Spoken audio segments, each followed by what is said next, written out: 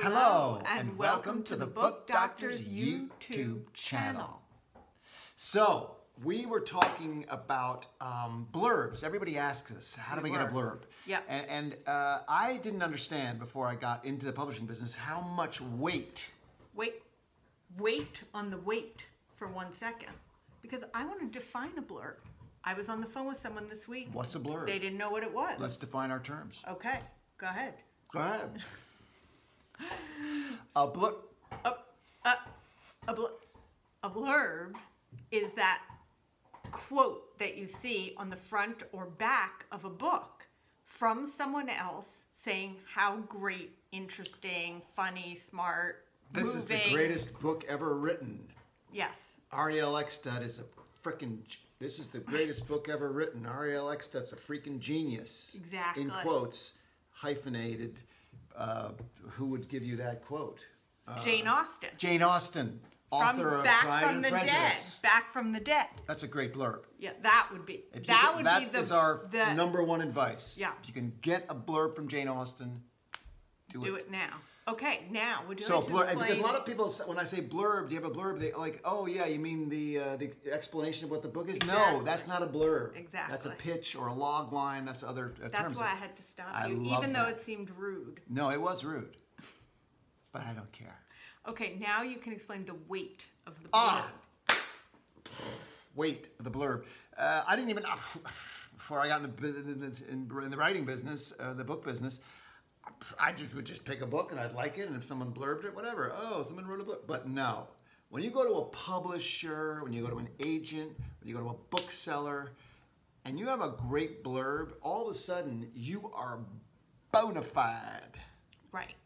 So I want to talk about something that happened the other day, which in a certain way is not going to be the case for a lot of people here, but I still want to talk about it anyway because of how it happened. So I'm mentoring a young oh, writer.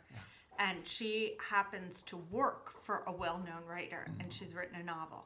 And I said, Have you asked the well known writer for a blurb? And she said, What? Can I do that? And I was like, Of course you can do that. Would he say yes? Well, you're not going to know unless you ask him. There's right? a good chance at some point in his life he was a young writer. And not Exactly. probably so famous and had to ask somebody for getting a blurb for him. And it literally had not even occurred to her. And she's working for the person, like they're right there. And I got an email this morning. Guess what? Amazing news. Got he said yes. So here's the number one rule of blurbing you have to ask. Ask. Because blurbs don't magically appear in your inbox And unless you're terribly telepathic and Yeah. it's like, woo, hey, I'd like to write you a verb. If you have Jedi mind, a verb, a blurb, a blurb. If you have Jedi mind skills, right. I think I'd like So- to write you a blurb. So without the. Jedi mind skills, you number one you have Jedi? to ask. Jedi? Jedi, Jedi. You have to ask. Number ask. two, you have to figure out who you're going to ask and who you have access to. Yeah. That's the next thing. Because it's got to be somebody appropriate. I mean, it can be anybody, but the more appropriate it is for your work, the better. The better. So if you happen to be working for a really famous writer, that would be the first person to go to. But if you don't, then you have to think about other means. So we, our favorite example of this, which we, I'm sure I've said in other videos, David was in a writing group in San Francisco with a bunch of mostly unpublished writers at the time. Yes, one of those unpublished writers Yes. was a, a doctor and very handsome and super nice and an awesome writer. Unpublished, as I said. Uh, but he turned out to be Khaled Hosseini. He wasn't Khaled Hosseini, the famous writer. He was just Khaled Hosseini, the super handsome, nice doctor at that point. He was an awesome writer. Yeah. But then he wrote a little book called Kite Runner, which sold approximately, I don't know, a billion copies and got mm-hmm. made into a movie and everything. So then when our book came out, I asked him very nicely, Khaled, would you be willing to give us a blurb? Be very kind to, to, to give us that. And he said, well, sure, David. It's one line.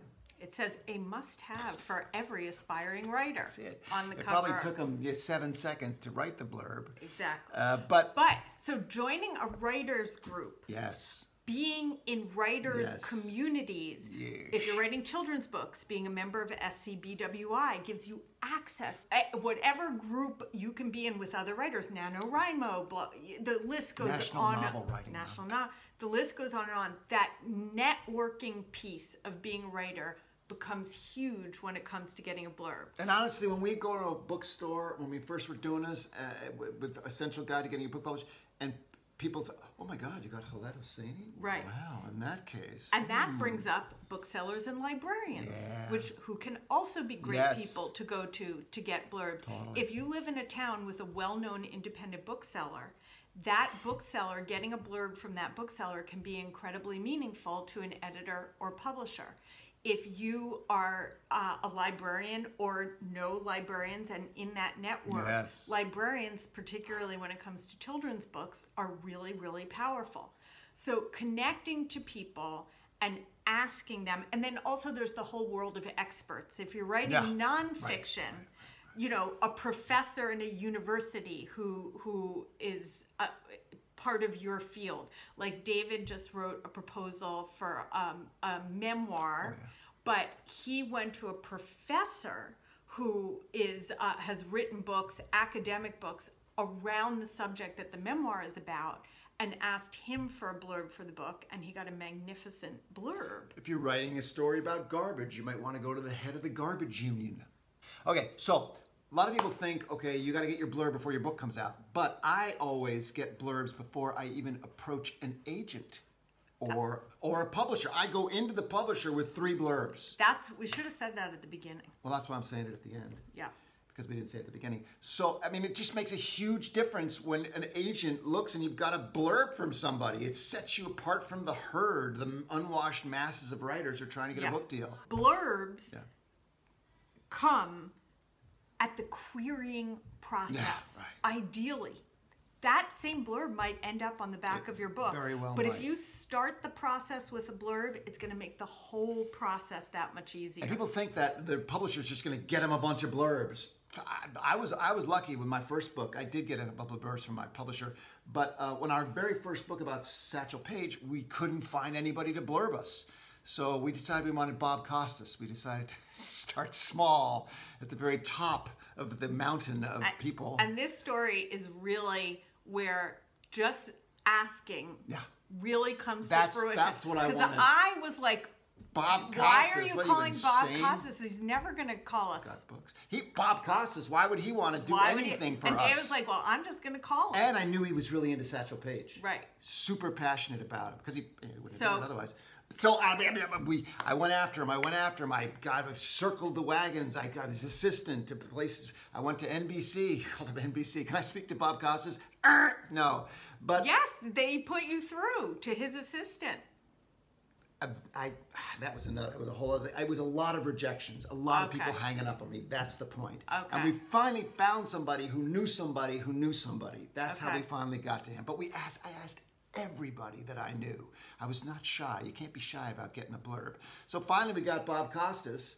And he's like, well, sure, yes, I'll, I would love to write you a blurb. And we're like, what? He wrote such a great blurb It turned into the introduction. to the book. How do you like that? So be- ask politely and be persistent. Politeness, persistence. Uh, and don't be afraid to ask somebody who you think might never in a billion years do it. If you've gotten a blurb, please Yeah, put let the us know story in the in the comment comments, section please. so other people can learn about how they did it, how you did it.